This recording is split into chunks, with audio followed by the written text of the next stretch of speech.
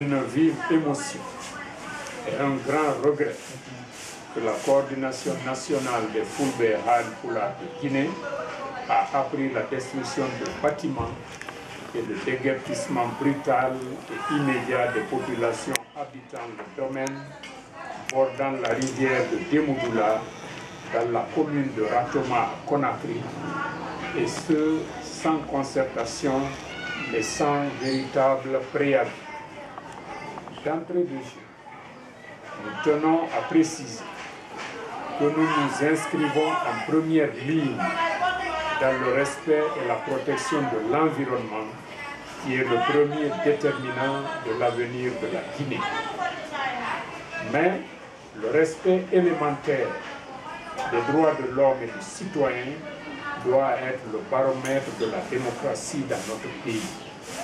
Il s'agit là d'un repère incontournable qui fait l'objet de violations quotidiennes en Guinée. Tenez, de paisibles citoyens acquièrent légalement des parcelles de terrain depuis des années. Ils édifient des bâtiments à usage d'habitation et s'y installent. Un bon matin, ils sont déguerpis de force et leurs maisons détruites sans coup au mois de juillet en pleine saison des pluies. Cette pratique odieuse a été orchestrée en dépit d'un acte pris par le ministère de la Justice et qui interdit de déloger tous, tous citoyens pendant la période des grandes pluies allant du 15 juin au 15 octobre. Où est le respect des droits de l'homme et du citoyen? Où est l'humanisme et la tolérance, ciment de notre société Des pauvres populations, des femmes, des enfants, des vieux, etc., perdent subitement tous leurs biens et se retrouvent à la belle étoile sous la pluie. Quelle honte, quelle sauvagerie. Le manque de surveillance et la non-délimitation des zones concernées par les services de l'habitat, la complicité de cadres corrompus dans la délivrance des documents d'occupation, tout ceci dénote la faiblesse et l'absence de l'État. Cette période sombre rappelle un autre moment de triste mémoire, la destruction de Kapororaï dans des conditions épouvantables pour les pauvres victimes, jusqu'ici non, indemnisées et non recasées. Bien sûr, la raison publique et sociale prime sur la raison individuelle, mais la réintégration de cette zone de Demodoula dans le domaine public devrait obéir au respect du droit légal, à savoir accorder un préavis qui dispose d'un délai suffisant pour le recasement sans heure de toutes les victimes de déperdition.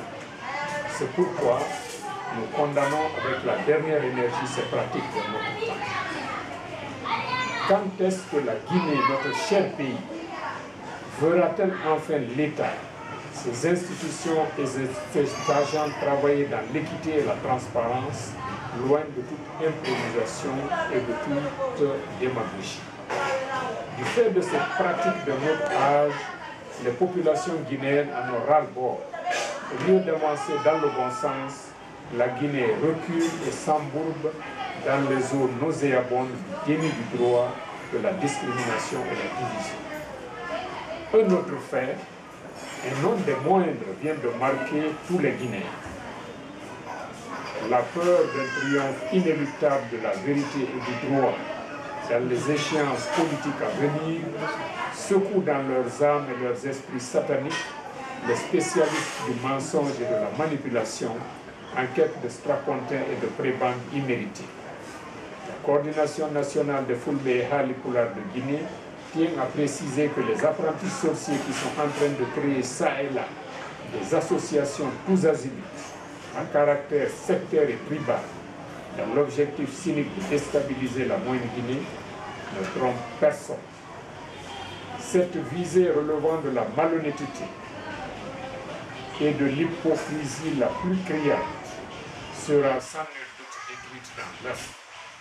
Que ceux qui jouent ce jeu et passement intéressé comprennent que le fouta de jalon n'est pas et ne sera jamais une proie dépiécée, encore moins à singulariser comme en d'autres temps de triste mémoire. Évidemment, tout flatteur vit aux dépens de celui qui l'écoute. Malheur aux pauvres ramasseurs de miettes et aux amateurs avides de strapontins qui font honte à notre pays et qui piétinent nos valeurs les plus sacrées. Qu'ils sachent qu'ils ne pourront jamais tuer l'esprit d'unité, de tolérance et d'entente qui règne si heureusement au Fouta Conakry le 29 juillet 2017, le président El Haj Bari, compagnon de l'indépendance.